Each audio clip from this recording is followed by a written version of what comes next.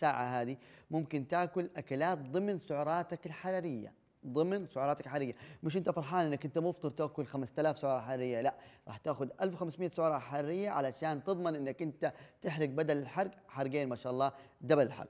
و12 ساعة صيام وراح أقول لك خلال الصيام وش الأكلات اللي أنت ممكن تأكلها. هذا بالنسبة للمبتدئين لما تعمل الدايت لأول مرة. نروح للنوع الثاني أو النوع الأشهر والأمثل واللي كثيرين منا قاعدين يستخدموه بشكل دائم اللي هو عبارة عن نوع 16 8 16 ساعة صيام وثمان ساعات إفطار. وهذا النوع معتدل وهذا النوع للناس المتوسطة. بمعنى الست الثمان ساعات اللي إحنا مفطرين فيها نأكل برضه خلال السعرات الحرارية اللي إحنا محتاجينها 1500 سعرة حرارية. لو كثرت السعرات الحرارية كأنك ما استفدت. لكن لابد إنك أنت تلتزم خلال الصيام 16 ساعة بالاكلات الأشياء اللي أنا أقول لك ممنوعة ومسموحة لك في هذا التوقيت. وأنتم قولوا لنا أي نوع من الأنواع اللي أنتم هتمشوا عليه. هنا راح نتكلم عن الأيام. عندنا سبع أيام في الأسبوع. يومين في الأسبوع وخمس أيام. يومين في الأسبوع راح يكون عندنا السعرات الحراريه عبارة عن سعرات مقلصة 500 سعرة حراريه والخمسة أيام الثانية عبارة عن 1200 إلى 1500 سعرة حراريه أو السعرات الحراريه اللي إحنا محتاجينها. بمعنى ممكن أنت تعمل اثنين وخميس 500 سعرة حراريه وباقي الأيام تكون 1200 1500 سعرة حراريه الأهم في هذا الموضوع إنك أنت ما تكرر يومين ورا بعض سعرات حرارية منخفضة عشان لا يصير عندك هبوط في السكر، هبوط في الضغط، مشاكل صحية لا قدر الله، وإحنا محتاجينك تكمل معنا مغامرة 300 جرام علشان تفعلوا معنا هاشتاج وتقولوا لنا أنتم في أي مرحلة وصلتوا.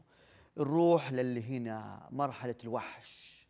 مرحلة أنا وصلت لها الحمد لله ما شاء الله تبارك الله وأنتم قولوا لي وصلتوا لها ولا لا. هذه المرحلة مش للأشخاص المبتدئة ولا الأشخاص المتوسطة. هذه المرحلة اللي عندهم كسر أو اللي عندهم ثبات في الوزن ممكن يستخدموها. اللي عندهم حابين ينحفوا بسرعة وجسمهم قوي وصحتهم سليمة ممكن يستخدموها. اللي هي أربع ساعات إفطار و20 ساعة صوم. يعني كأنك بتأكل وجبة واحدة والباقي كله صيام. هذه بكرر هذه الأشخاص السليمة الأصحاء علشان يصير عندك هبوط أو مشاكل أو فقر في الدم أو دوخة لا قدر الله. هذه بعد شهر بعد ما يكون الجسم تعود على الصيام وتعود على تقليل السعرات الحرارية تروح مرحلة الوحش وصلتوها ولا ما وصلتوها؟ هذه مهمة جدا. ونجي كمان لآخر نوع وهو النوع اللي فيه الأجر سبحان الله اللي إحنا فيه كمان اللي هو الصوم الإسلامي أو صوم رمضان. وهذه مهمة جدا جدا. يعني إحنا سبحان الله في ديننا موجود عندنا الصيام المتقطع من زمان اللي هو الصيام الإسلامي. إحنا بنصوم ساعات كثيرة وبنفطر على ساعات قليلة وهذا بالتالي يعني إحنا سبحان الله أغلب أنواع الرجيم وأغلب الأشياء اللي بنتكلم فيها في التغذية هي مذكورة في القرآن. فبالتالي أشياء كثيرة قاعدين نحن نستنبطها من القرآن والأحاديث. الصيام الإسلامي. تكسب فيه أجر الدنيا وأجر الآخرة. ودائما تقولوا ادعوا يا رب نحفنا بدون مرض يا رب قوينا يا رب ساعدنا هذا مهم جدا. والمعلومة المهمة جدا في هذه الأيام الفضيلة إنه حتى صلوات التراويح وحتى التهجد والصلوات بشكل عام هي عبارة عن كمان تحرق سعرات حرارية فبالتالي التزموا في هذه الصلوات عشان أجر الدنيا وعشان أجر الآخرة.